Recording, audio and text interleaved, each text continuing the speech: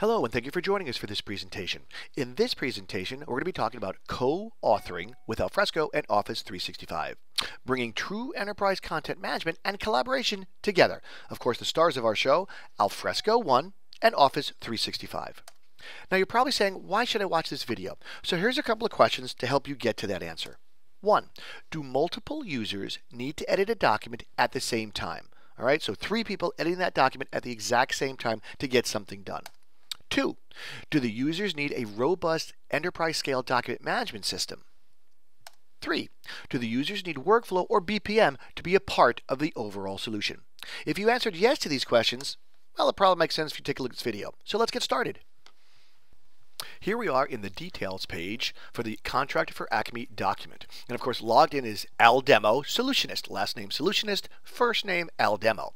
Now, what Al wants to do is to share the document with somebody else, do joint editing. So he'll click Shared Editing in OneDrive. Again, we're accessing our Office 365 account. So by clicking that, up pops the document. Now, Al is already logged into Office 365, so up pops Word Online and the document from Alfresco, and of course checked out of Alfresco.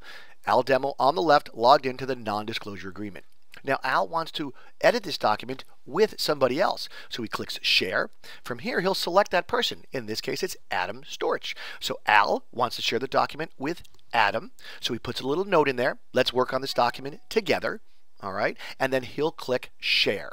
So what Al is doing is he's selecting Adam Storch to work on the document with him. Clicking share will then send a notification, an email if you will, to Adam so they can work on the document together. Here is the email to Adam from Al, because again, Al wants to work on the document with Adam, and there's a link to the document right there.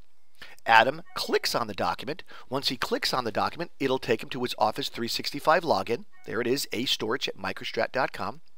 Adam will then turn around and log into Office 365 and therefore the document. And this way, Adam and Al can work on the document together. Now, Adam wants to edit the document. So we'll go to Edit Document and we'll say Edit in Word Online. And now the document is ready to be edited by Adam as well.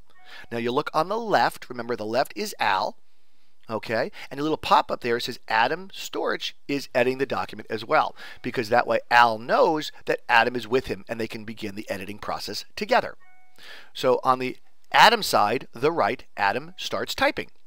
Now when Adam is typing, it lets Al on the left know that Adam Storch is actually typing. So he could see what Adam is editing on the document. Okay?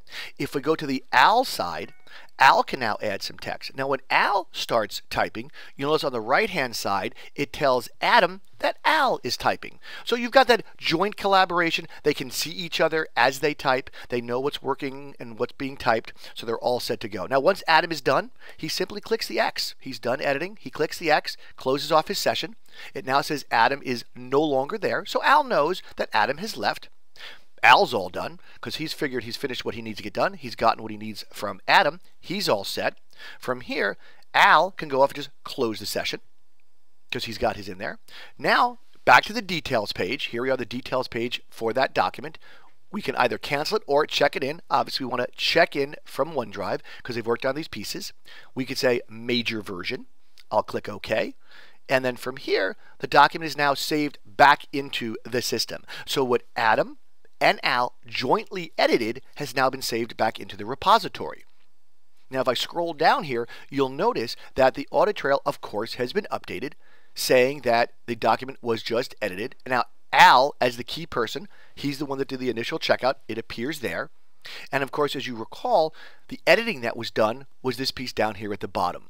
Okay, so as you can tell, right from here, you're able to do a shared editing experience with your users using Office 365, capture the audit trail, capture the changes, and you're good to go.